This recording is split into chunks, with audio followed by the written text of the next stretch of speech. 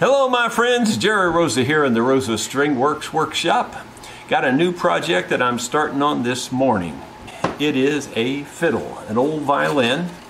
Francis Webb was the grandfather of my customer. My customer, I won't, I'll just give you the first name. Her, her first name is ben, Bonita, B O N I T A. And Bonita wanted me to fix up her grandfather's fiddle. Francis Webb. He played this old fiddle at dances and things like that. So we're going to treat it with the sentimental respect that it needs and see if we can't fix it up.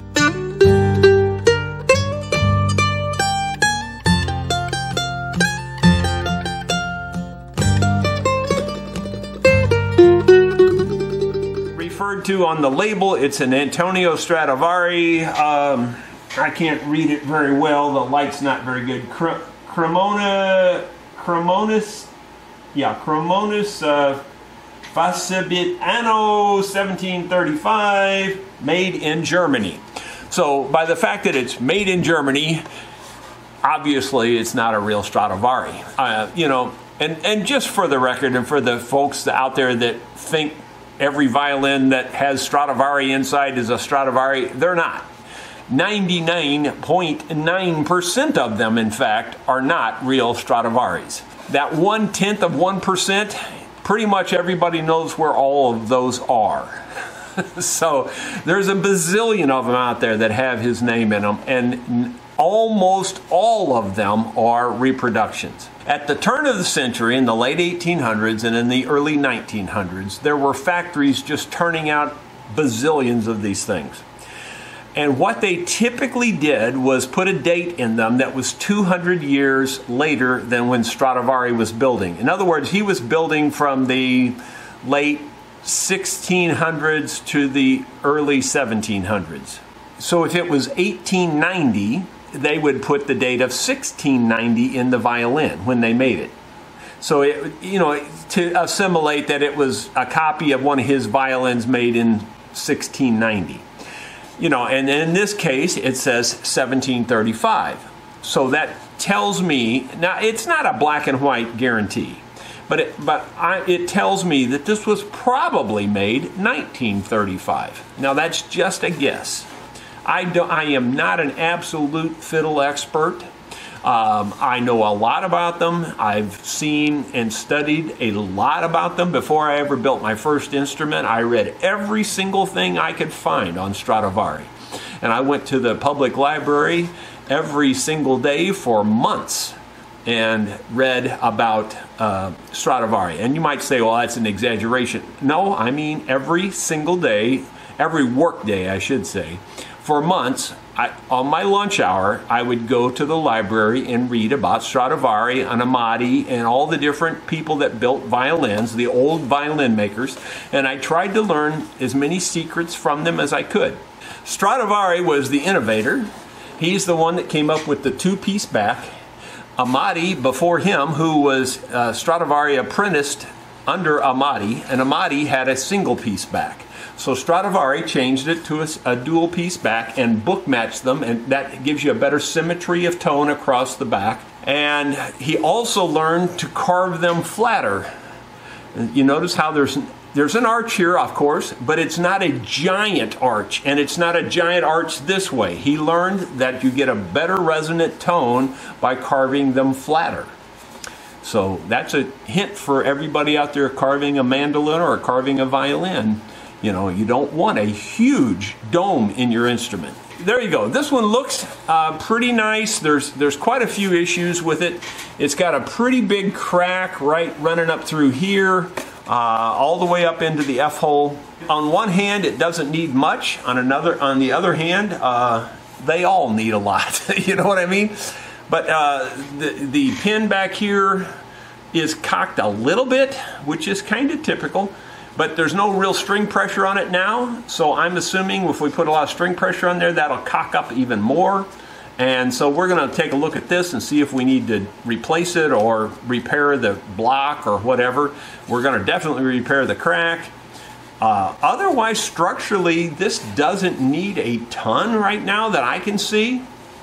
So we're in pretty good shape. Since this is a sentimental build, we're going to try to leave it as original as possible.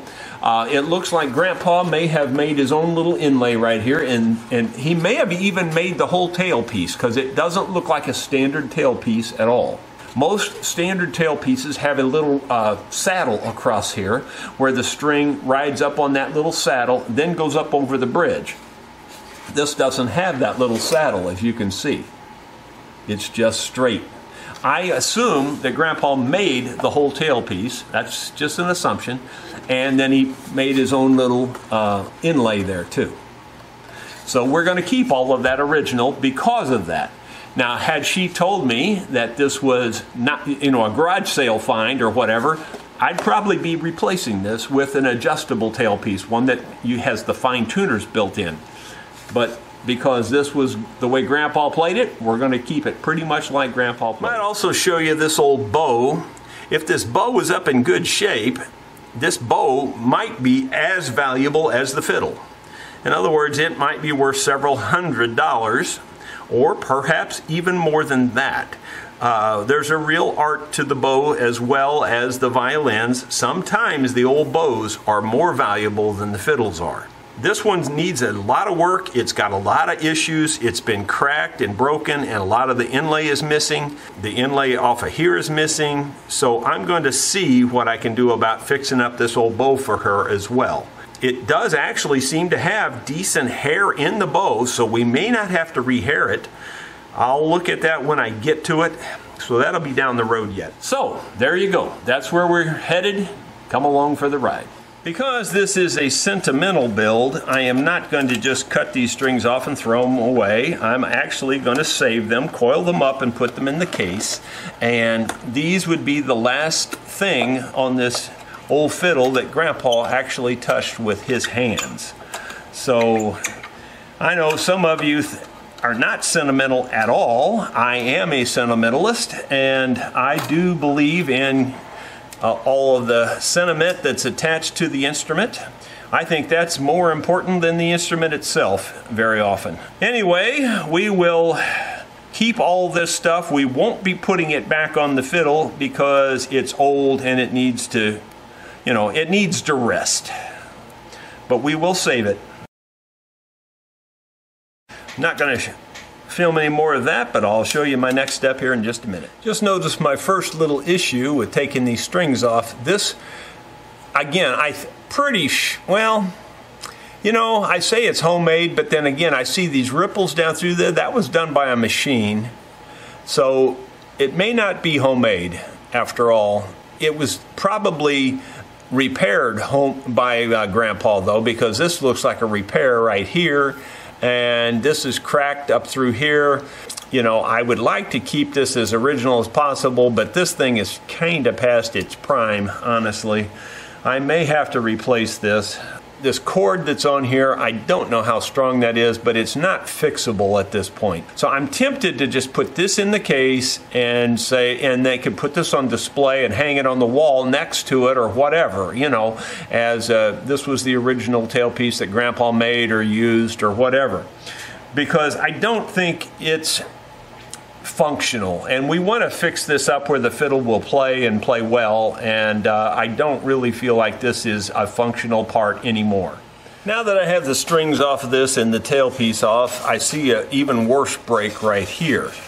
And the sad thing is that that's been reglued already and it's not done well. Uh, Grandpa probably reglued that, but it's not lined up at all. Uh, it's uh, bad that's a shame. I, you know, fixing that is really difficult, and we may just live with that. So, you know, I'll have to see how that goes as we get into it a little further. I'm going to line up this crack and get it glued back and get it clamped here. So that's going to be the first thing I'm going to do. But this one here is already reglued, and unfortunately, it's not lined up at all. Well, I have some clamps here just kind of pre-adjusted to the approximate right size. So we'll set them aside and we'll use those in a moment. Right now, I'm going to uh, get glue down in here as best I can. It's a pretty tight crack, but I do think we can get Titebond in it. Um, trying to decide here if I can stretch it open a little bit and get more in there. I don't know. It's going to be tough. Yeah. I think what I'm going to do is get some warm water, wet the crack really good first, and that'll make the Titebond flow down in there much better. Okay, we're going to get started here. I got some warm water, got a paintbrush, and I'm just going to paint the crack here and wiggle it back and forth as I paint it even and hopefully get some water down in the crack. You know, you might think, well, you're diluting your glue, but that's probably a tiny bit true. But the, the fact of the matter is, it just barely dampens the wood, and the glue is very thick, and it's really not going to create much of an issue that way. But it will help the glue slide down in the crack better, and that's the goal for the reason I did it. Now I'm going to lift this up a little bit because that gives me access to this crack better. I know you can't see it from your angle, but I can see the edge of the of the board and the crack and I can just put glue along that edge real easy this way. And I'll wiggle it up and down like that a bunch of times and that'll get the glue down through there. And then I'm actually going to do the opposite. I'm going to push it down. I'll push it down with my thumb and I'll put, I'll use the brush here and work it into the crack. And then I'll have to pick it back up with something else because I can't get my hand in there very easy. And I'm going to do the same thing on this side, paint it in there back and forth, just wiggling it up and down until I am satisfied that I've got the glue down in the joint pretty good. Then I'm going to wipe off the extra the reason I want to get it clean like that too is now I can tell, did I get glue down in there? Because when I start pulling this together, we should see glue squeezing out. If it's, if it's together, I think we will. I think we'll see glue squeezing out.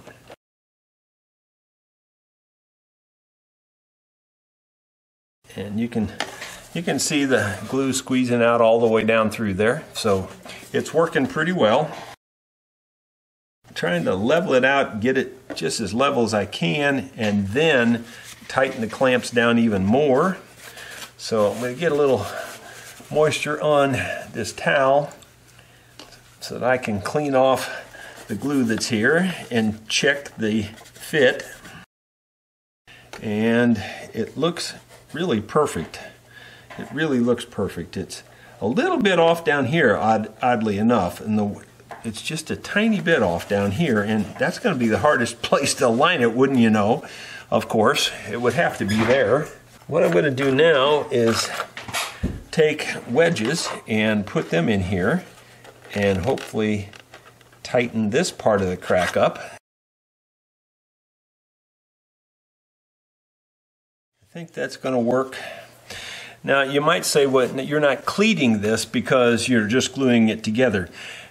Typically, a crack like this has very little stress on it. I don't know what caused the crack. It could have got bumped. I, I don't know. It could just been drying out air type thing that, you know, the body changed shape and it caused it to crack. I don't know. But typically, this type of crack doesn't have it, that much stress on it, so you don't really need a cleat. A cleat wouldn't hurt anything, but you don't typically need them. This this wood glue is so strong that it will typically uh, keep it perfectly in alignment and you know keep it together.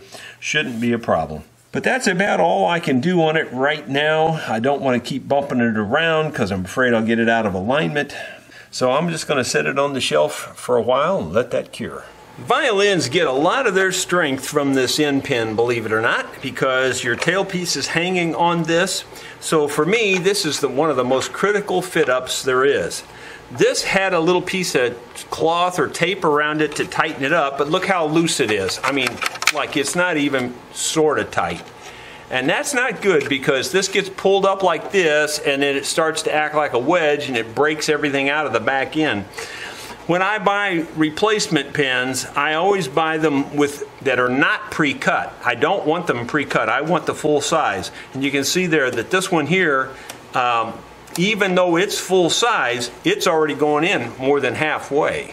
So it isn't going to take much to get this to work.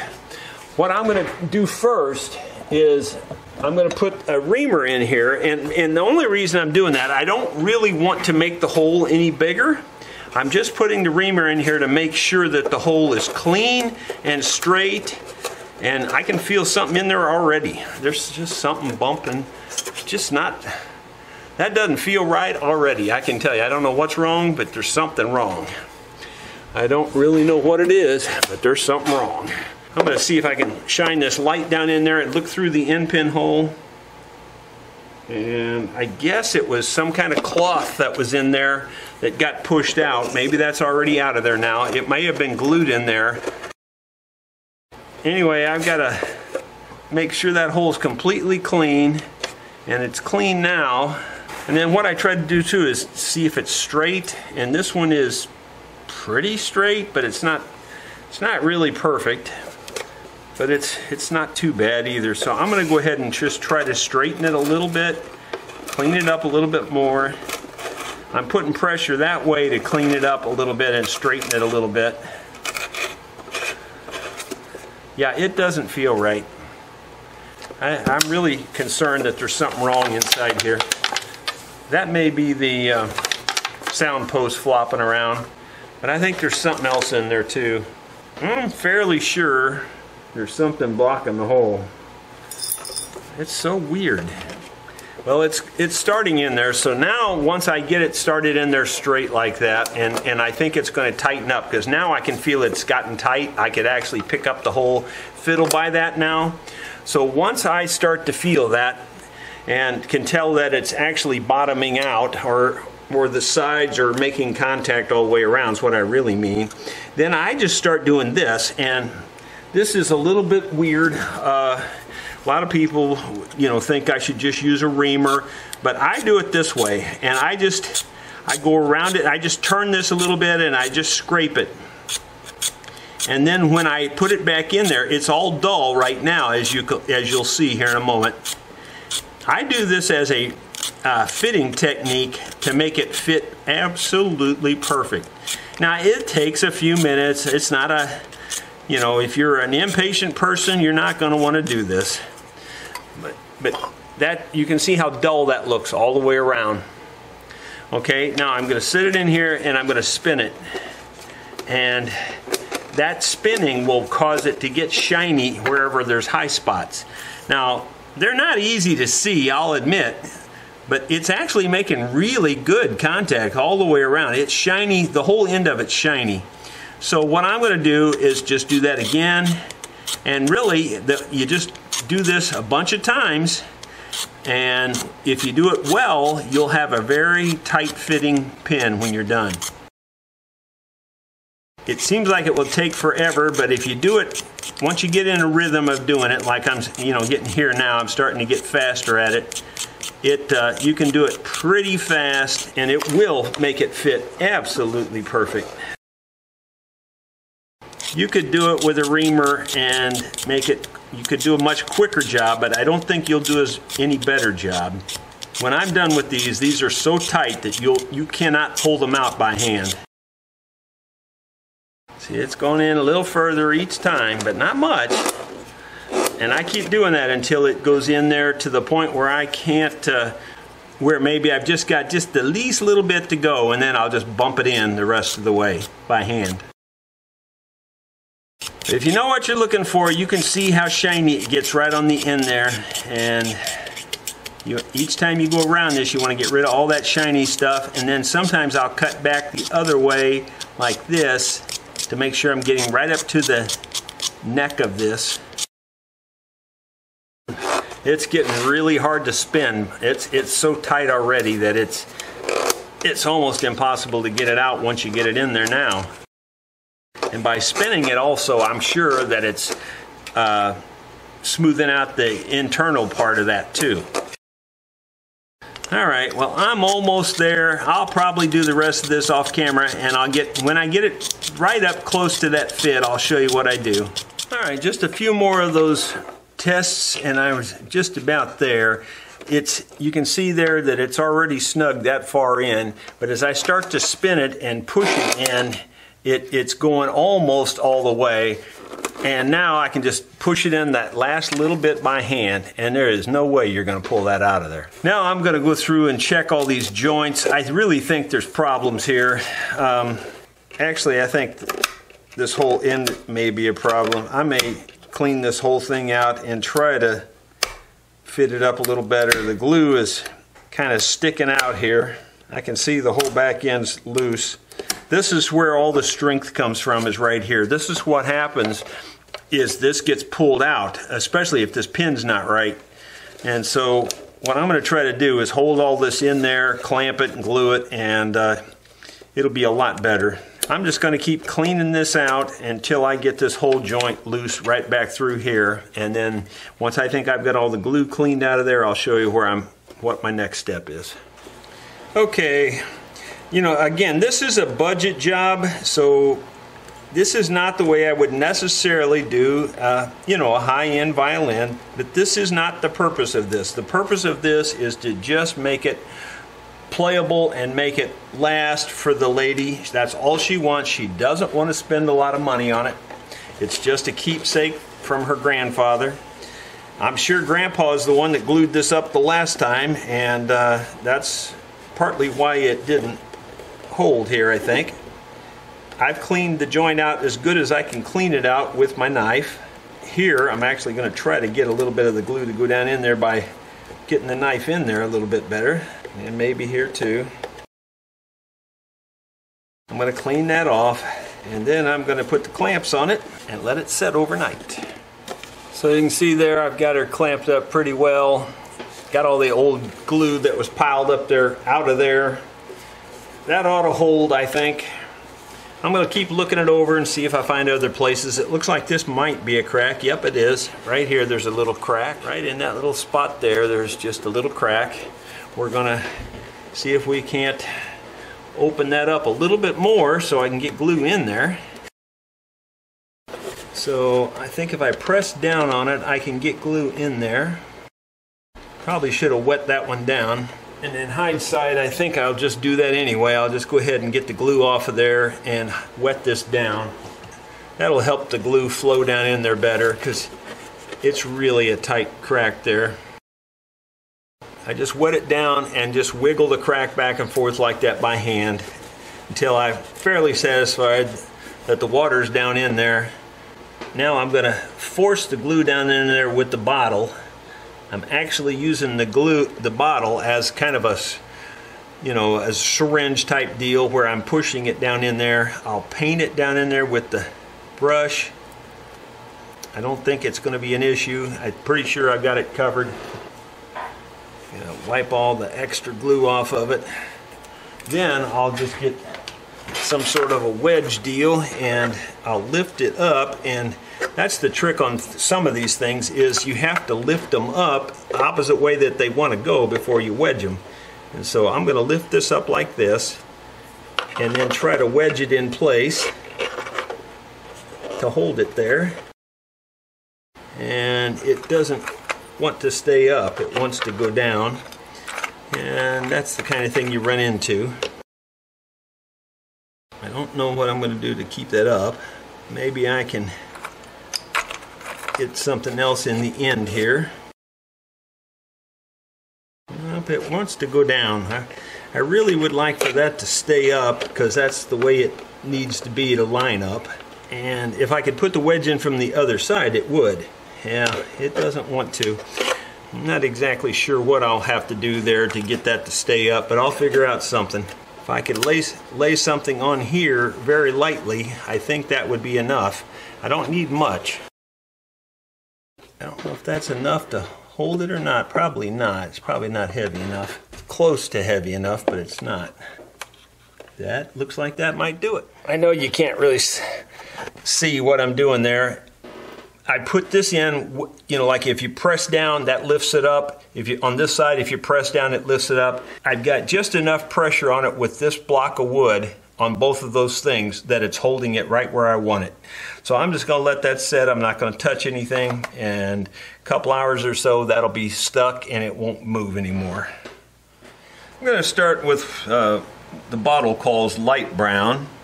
It's got more reds in it, and I think that would match this better. Um, it may not be dark enough, and I can see that it's pretty quickly it's going to not be dark enough. And that's okay. You can always go darker. It's a little harder to bring it lighter. So that's why I thought I'd start with that. I don't think it's going to match it too well, though it's not far off. If, if it would stay on thick like that, it's not far off. Looking pretty good there now. If it'll stay that color, it, it might and it might not. This uh, light brown, everyone always tells me it has a lot of red in it, so I thought that would be the match for this, because this, for my eyes, looks like it has some red in it, but again, being colorblind, who knows? I may be way off. Looks better than the big white spots though, so at least I think it does. It looks like I see a nail driven in right here, which is never a good thing. Don't ever drive nails in a violin or really any instrument or screws or anything. They're meant to be done with wood and wood only and glue and joinery and things like that. So just don't ever do it. If you get the urge and you don't know any other way to do it, either call me, text me, or come see me and I'll show you a better way. This is going to be under the tailpiece anyway, so this isn't all that terribly critical. I just thought I'd try to keep it from standing out. If you look under the tailpiece, you probably won't see it with adding this color to it. I'm going to blot it up a little bit there to help it dry a little faster. The thing about this stuff is if you put it on once, it goes on really light. If you put it on again, you can darken it up a little bit. So you can make it match a lot of things even when it's really technically only one color by just putting it on multiple times. A lot of the worn spots like up here where he had his hand I'm sure I'm not going to fix that because that's you know it's not really damage as, as much as it is just showing use of the fiddle and I don't fix those kinds of places. I fix places that are chipped or you know that look out of place, but the actual wear spots I typically don't fix. That's probably going to be it for this one. I'm not going to do a lot on it. Maybe around this F hole here because that's where people are putting in the sound post all the time and they chip it out quite a bit. All right, I think we're going to get some strings and get started setting this thing up. Okay, we're at the setup point. Now this is where it you typically have to make decisions. You know, um, I would like to use the original tailpiece because Grandpa had modified it and all that, but it was also very um, weak and very unstable, and he had modified it in such a way that I couldn't remodify it, if you will, to make it more stable.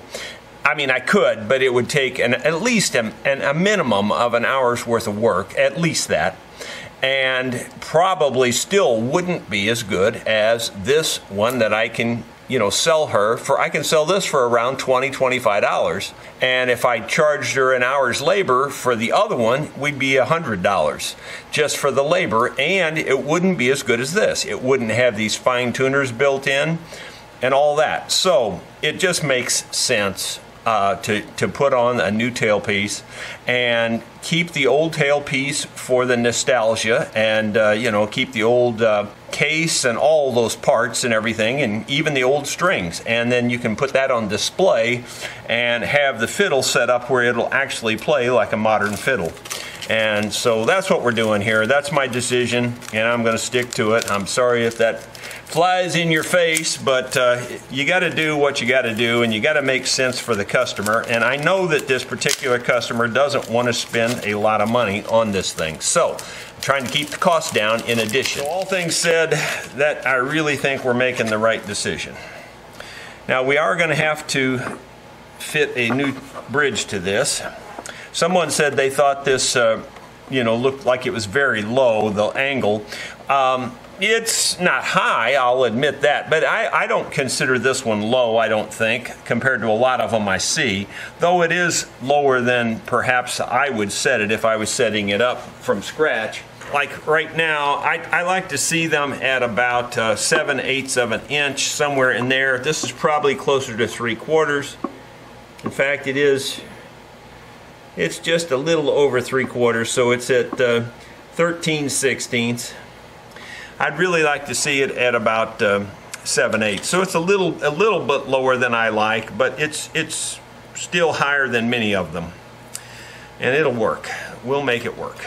So I'm not going to uh, film the whole setup of this, but I'll film key points that you might be interested in. One of the key points is the uh, scale. Most full-size violins set up at 325 millimeters this one, if I set it at 325, which would be right there, it's way in front of the marks that go here. So this one has a longer scale for whatever reason, it just does. So I'm not going to go by my 325. I think I'm going to go by um, 330, which is close. It's only five millimeters longer, but I'm just going to use that as my arbitrary scale. That I don't like to change my scale, but you know, some instruments they just look better, they're going to sound better if you get this approximately in the center of the back here, and, and these little marks on the F holes is, is your typical uh, lineup for that. The first thing I'm going to do is cut off these feet and get them fitted to the top. So my method is just simply put the bridge about where you want it Typically, by the way, your uh, label goes to the back on your bridges. And uh, so I've got it sitting approximately where I want it. And now what the trick is to keep your pencil at a consistent height. And what I do is I try to find where the pencil's going to come across and cut off most of the feet without cutting off all of the feet. You really don't want a big foot left. So I, my lines are kind of just for reference. I don't necessarily have to cut to those lines, but that gives me the shape of the top. So I can parallel to that and cut off as much of that as I feel like I should cut off. And if you look at it real close, you can really take off quite a bit of the feet. And you, you do want to do that. You want to get it nice and trim and small. Um, that's just the way violins are set up. So I think this chisel should be long enough to go across the whole feet. Uh, it sort of is, but I'm going to get one that's just a little bit wider. I like to be able to trim the whole thing at one time. And the thing about this is you want to trim as minimal amount as you can on a per cut. You really want to take very small thin slices. And the reason for that is the wood will just chip out and break out really bad if you don't if you can keep it very thin slices, then typically you'll be fine. You can see I've taken off four slices there. I'm not quite to the mark, but on the other hand, I don't have to go to the mark. What I'm trying to do is stay parallel to the mark and, you know, leave a enough foot there that it's going to support it, but yet get as have it as minimal as possible. I'm going to take one more little tiny slice, and I think I'm going to call that good. So I took off um, five total slices there. And we'll do something similar to this side. Of course, it helps if you've got a really sharp chisel when you're doing this. And my chisels are pretty darn sharp. So you want to keep them that way. Otherwise, you'll break the wood. And I think that's going to be it for the shaving part. I'll move on to the next. Now, this next step, most people go this way with sanding.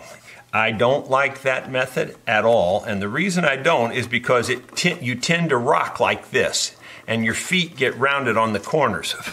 I much prefer, and I think it's much more accurate, and there's another benefit, I'll tell you about that, to go this way. I just go very, very, very short strokes. You can see I'm probably not going an eighth of an inch off a center in either direction. Less, probably less than an eighth of an inch. And I can put good downward pressure on it. Now the additional advantage is I can also keep the bridge cocked just ever so slightly backward. And the reason you want to do that is because they always pull forward. So if you can keep it just a tiny hint of a backward lean to it, uh, it'll pay big dividends as you're stringing the instrument up and, and as you tune it. Now, if you've cut them well with the chisel, and if you marked it well with the pencil and then cut it well with the chisel, is the better way to say it, then you don't have a ton of sanding here. That's looking pretty good already. It does look like it needs, the outside ends need to be sanded a little bit more though. And so I'm gonna put it back on here and hit it a little bit more. And if you've done it well, it ought to sit there pretty easily without too much trouble. So you can see it sets there pretty well. It's like I'm not having to, you can even tap it and it sets there pretty well because it's really fit to the top. So it fits really, really well. Now, once I've got the feet set, then I turn my attention to the height of the bridge. Again, I'm keeping it about where I want it. And the way I do this is I do it almost all from the treble side. And I start out kind of paralleling it, like so. And then when I get to the middle or so, I start to kind of angle the pencil this way. And the reason I do that is because for the most part, you want a long slope on the treble side and a kind of a, a, little bit more of a fall off on the bass side. And then I come back over here and I kind of mark where the bass line is under there. And I just do that like that. And I, I just use experience to kind of come up with my own uh, cut line there and uh, the way to make the bridge fit this neck real well. I don't quite cut all the way down to my pencil line. In fact, I'll try to pencil in about where I'm going to cut this, and it's going to be real close to the pencil line, but just a teeny bit above it. The darker line there is a little closer to what we're going to have when we're done. So I'm going to go over and cut that now, and often I just do, go to the sander and sand it I'm not sure where I turned the camera off, so let me explain that I'm going to you know thin this down. You can see right now it's really thick. It's it's very thick. It's like a 2 by 4 and I've already carved a little bit of it off camera. But it's very thick and you don't want it to be a thick bridge or it won't transfer your sound. So that's where the finger plane comes in. The first thing you have to do is quickly determine where, which way it wants to be carved. This one wants to be carved this direction. The other thing you have to watch is when, even with the finger plane, is that you can break these little decorative pieces off. This, this, and this can break off very easily. So when I get to those, I want to carve this way on this one. I want to try to carve this way on this one and this way on this one as much as I can because otherwise if you if you just go straight this way, it'll just break these right off. And it'll break this this can break off also, especially if you go sideways on this one. So you have to pay attention to that. Ask me how I know that. This takes quite a bit of carving, but you can do it and you can keep it very flat if you pay attention to what you're doing. This is a very high grade bridge. Um, it's very tightly sawn, quarter sawn wood. I don't know if you can even see the grain there, but I'll try to hold it still. Very tightly quarter sawn, a lot of figure in the grain, so it's a very high quality bridge but it does not want to be carved that way at all. It wants to be carved this way. And and you, if you're asking why, it's because the grain is running. Um, it's hard to explain that, but the grain would be kind of overlapping like this. And if you're carving this way, no problem. You, you can carve that way, no problem. But if you carve this way, you're carving into the end of that grain and it wants to chip out and break out. So you really have to determine that very quickly, otherwise you can really make a mess. Now the trick is on something like this where where you can break this off, you got to be very careful. I take my carving down to this base area. I don't go down to the feet, but I go down into the base. And we still have quite a bit to carve off here. You can see quite a bit of the shavings that I've carved off already. This thing carves much faster than you think, these little finger planes, when you learn how to use them. You can take off a lot of wood in very short order. The other part of the trick of carving these is you'll get thin spots if you're not careful on your edge. So you want to really look at that a lot and, and try to keep your edge even. You can go pretty thin on these. The only thing about going real thin is you really have to then have a lot of care in how you uh, keep your strings lined up and, and you keep the bridge standing up straight. If you get the bridge off at an angle, it will bend your bridge in half or bow your bridge when you carve them thin enough.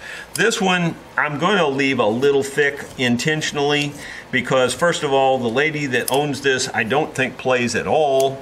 Um, Secondly, uh, it's probably going to be a wall hanger most of its life, and uh, you know it doesn't need a perfectly set up bridge, and it will last longer on display if the bridge is just a little bit big. I'm not leaving it large. I mean, you, it's going to be playable, but I'm not going to go to the extreme that I might for a, a concert violinist. That's pretty good. That's pretty flat. So the next thing I do, and it's going to be hard to show you because the carpet's in the way, but I'll lay this sandpaper down on a flat part of a table like this and then I'll go with the grain and make sure that this thing is, is really flat you know, a lot of the violin makers would say you don't do this, you don't ever want to sand them. It's really not going to make any difference. They think that they know everything and that it's going to really make a difference in the sound. It's not. You, you know, you just clean it up like that and the little bit of dust that's in those pores, which keep in mind maple has about the tiniest pores in the world, it's not going to make any difference. And what little bit would be in those pores, and I'm pretty sure there's almost none, uh, would vibrate out in no time at all once you start playing the instrument. So there's that. Okay, so we're just about ready with that part. It's uh, pretty much pretty much done. We still have a fairly tall bridge. Uh, by the way, referring to the bridge, uh, and some people saw me cut all that off of there, and you think, well, that means this is really low. Again, I've already addressed that. This is not real low, it's a little bit low. And uh, those bridges, I buy them in the full size. They're unfitted, and that means that you do need to cut quite a bit off of most of them because they come oversized. Okay, now we'll move on to actually putting the strings on this. And the package probably has a color code, which is always great for me because I can't really see the colors that well. It says the G is the is this one, but this one doesn't look as large to me as some of the other ones, but I guess it is. I guess it's the largest. All right, so this is the G, and I'm pretty sure that's the green one. I can I can match up colors fairly well. Like I can see that that looks like that color there, or pretty close to it. It's the closest one there out of these. So I don't see black and white. It's just, I just don't see colors as well as everybody else apparently. All right, before I can put the string on it though, I'm gonna have to at least get the tail piece fitted. That's another advantage to this type of tail piece. Uh, it has the nylon uh, strap here and adjusters and it's much easier to fit it really well to this. Do a good job. And in fact it's already fitted perfectly as far as I'm concerned. Now that doesn't always happen. That's not always the case you want a little bit of gap between this tailpiece saddle here and uh, the end of the tailpiece. In other words, you don't want the tailpiece itself riding on this saddle. And we've got just a little gap there uh, less than an eighth inch, about a sixteenth of an inch, and so that to me is really pretty darn good. all this extra thread on here, which you can screw these in and out to adjust it, uh, we don't need all this extra thread. So I'm going to cut most of it away. I'm going to leave a little bit there, but I'm, you know, I'm going to cut most of it away. And the reason is because I don't want it vibrating. Well, they've somehow incorporated nylon, or, uh, aluminum into those threads. Most of these only have uh, nylon threads, but that has been somehow it goes from nylon uh, to aluminum. I don't know if that's good or not. It may be a weak point, but we're going to consider it good for now. And we've got the G string here. We're going to set it into the little fine adjuster. Come up to the peg box. I do them in order of the closest to the nut. And so the G is the closest to the nut, and I start by winding them away from the handle. In other words, this I'm calling this the handle, the knob or whatever. And I start by winding them that way. After I wind about a wind or two, wind and a half or two, then I come back across my wind and I wind toward the little handle or the nut that locks it in where they can't pull out. I'm not going to put little notches in the, for the strings, at least not yet. And let's see, the E string is supposedly the red one, and this one looks like it's the red one compared to the other two. Again, I'm going to, at first, wind away from the uh, handle winding it toward the center of the peg box. And three, three rounds on this one I think is going to be good. And then I'm crossing back over and winding it toward the handle. Again, that locks the string in. It will not pull out now. Now, when you do this, we don't have the sound post set yet, so you don't want a lot of strength on this. You just really want them kind of just snug but loose. Now, my next one's going to be the um, D string. So that's this odd colored one here, according to this. I don't know what color that is. I don't know if that's gray or pink or what it is. But anyway, that color there, whatever that is, maybe you can tell. I'm going to show you something here. I think you can see it. But the old hole, if you look at the old hole in there on this peg, maybe you can see it. I hope you can. I hope there's enough light. Get the light down here and the old hole was over close to the uh, treble side of the peg box.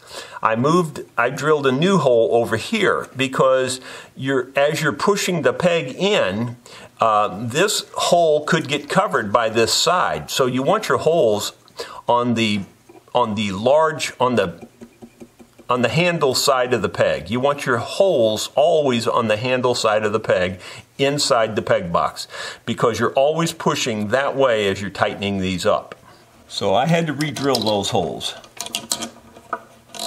Again, I don't want really any tension on these yet, just enough to hold the bridge in place. That's all I want. And we'll put the final string on and we should be good to go.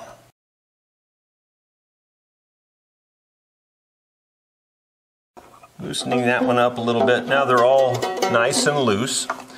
And I'm going to look down it and, and kind of get it all set about where I want it aligned with these little marks on the F-holes.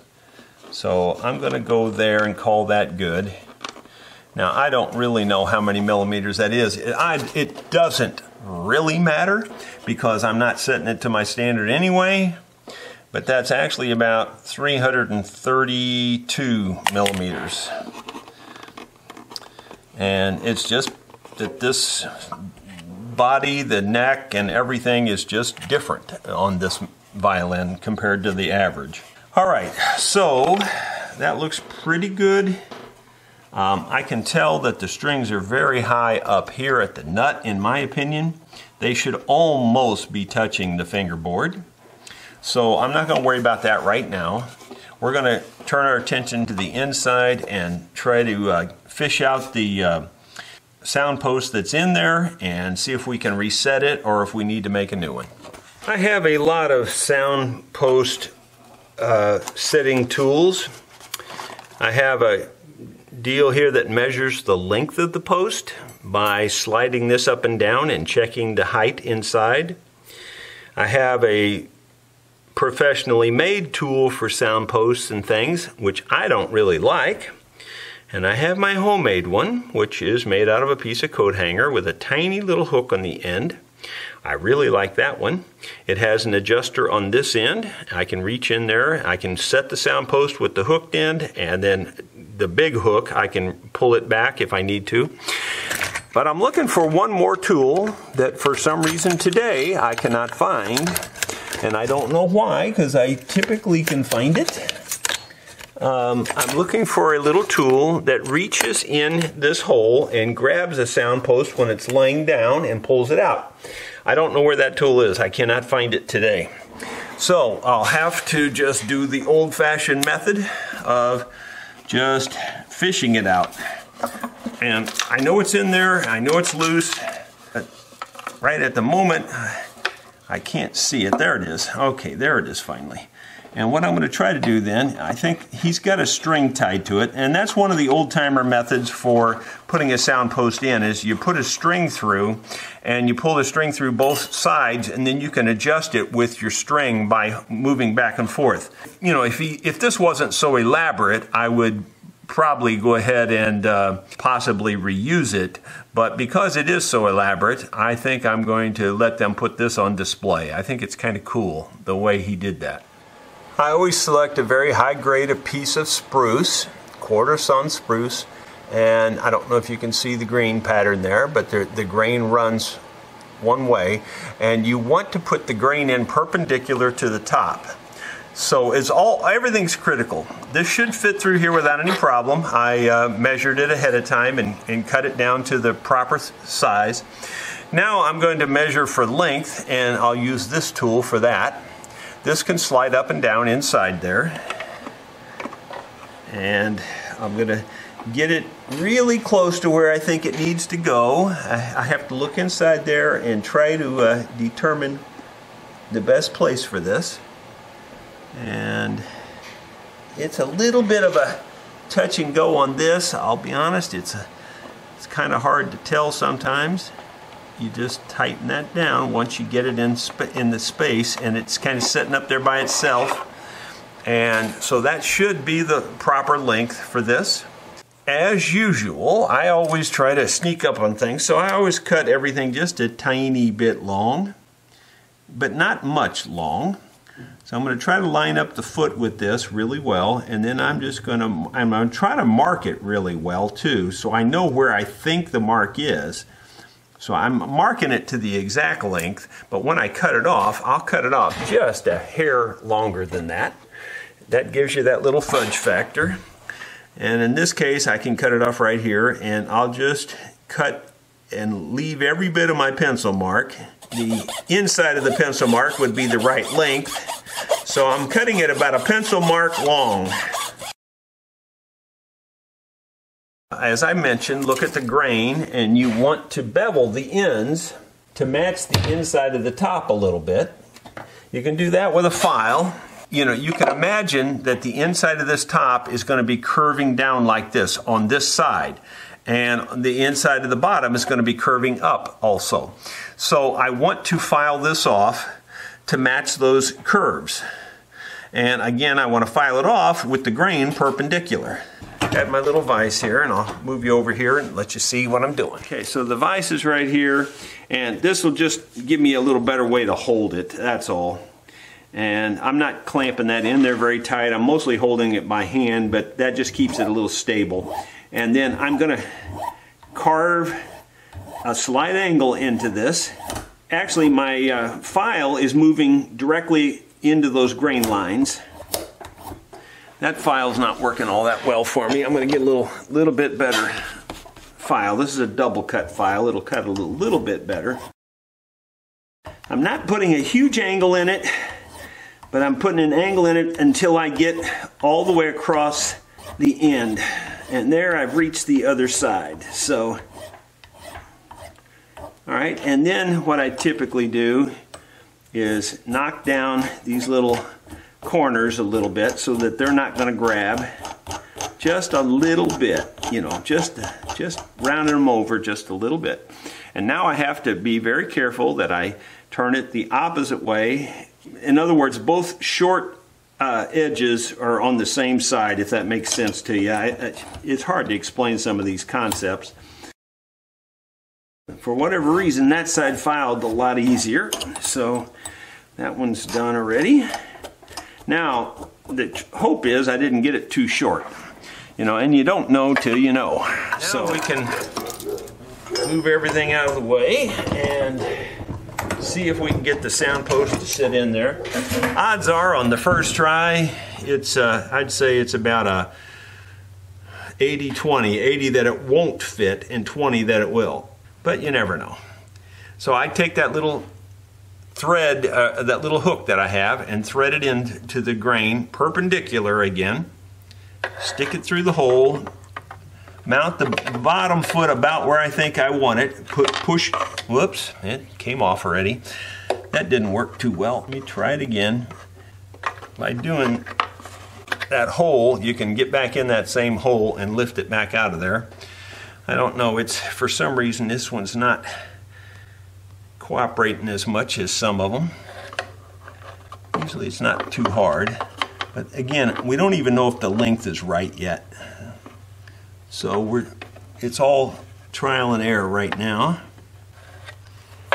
Now it's, it's standing and it's not looking too bad. Ah, oh, I had it and then I bumped it, knocked it over. Just about had it.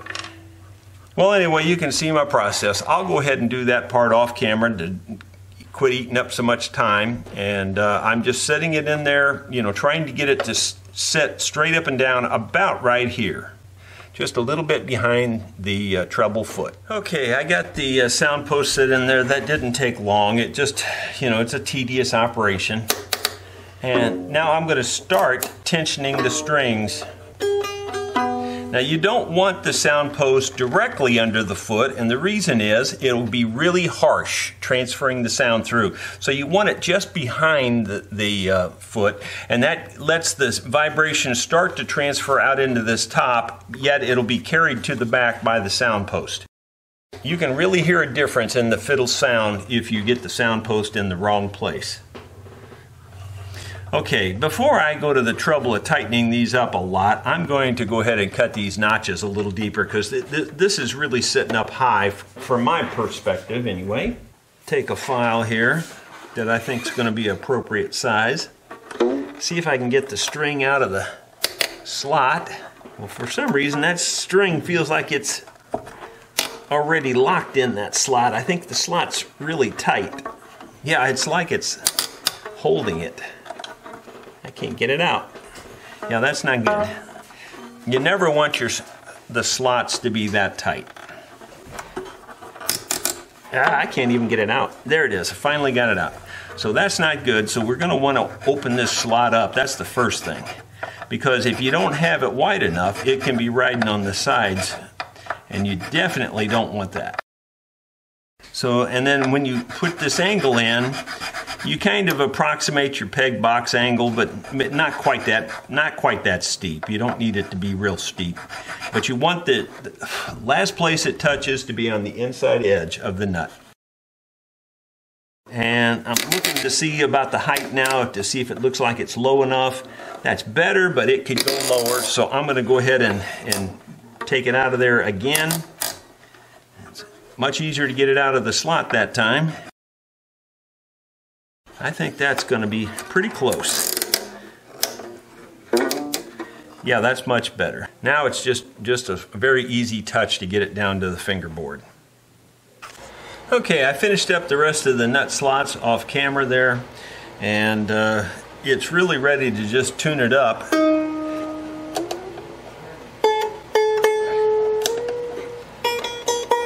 So I'm going to take it up slow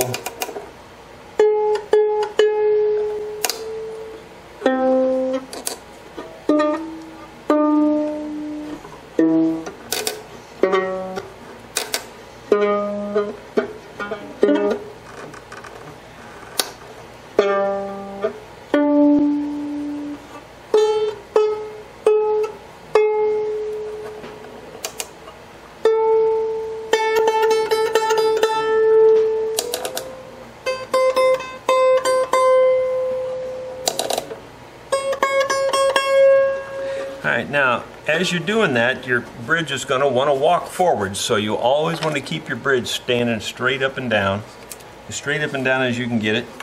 There's still something loose inside this thing, so I'm going to have to figure that out yet too. But we're doing pretty good. These strings are a little bit high off the neck. I, I could cut this bridge down some more, and I may decide to do that because it is just a little bit high. It, a little bit hard to play. Um, you know, it's a lot of people play them this high, but I would prefer to have them a little bit lower. And if, especially if she's going to try to learn to play this at all, we're going to want this down just a little bit more. So I think I'll loosen the strings a little bit before I get them to full pitch, and and I'll take this uh, bridge out. Hopefully the the uh, sound post will stay where it's at, and I'm going to cut this down just a little bit more. I'm just going to do it kind of by eye. I kind of know what I need. A little bit kind of like that. It's kind of a vicious cycle. When you cut some height off your bridge, then your bridge gets thick again on the end because you're, you know, it's wedge shaped. And so I'm going to go ahead and take off a little bit more thickness off of that also while I'm at it here. And again, I have to remember I can only go this one way. This bridge just doesn't want to be cut in any other direction. That's looking pretty good. I'll flatten it again with some sandpaper. Just okay, I've re-flattened it a little bit on the table with some sandpaper. I did that off camera, of course. Now I can set it back in place. Now this time we ought to be pretty good, and I'm going to start worrying about the or setting up the uh, width of the strings here also, because I haven't really paid much attention to that yet. I like to spread my strings out over the full width of my bridge. A lot of people center their strings in the bridge, but I prefer to have them spread out a little bit. I think it gives you a better sound overall. I'm going to call that pretty good. I'm just doing it kind of by feel and by look. I can kind of feel if they're hitting my fingers in the same place. Looks and feels pretty well, so I think we're in good shape. Now I'm going to go ahead and get it up to pitch. I do have this uh, fiddle all set up and relatively in tune. I actually have it tuned a little bit sharp because it keeps dropping and they all do that until they settle in. So there's no telling if it's even in tune at this moment right now because they change at a moment's notice. But overall, it looks pretty good. You can see the spots I touched up there that uh, they blend in pretty well. You can hardly even tell it. It's a pretty decent little fiddle. I wouldn't mind owning that one. Thanks for watching. Hope you enjoy it.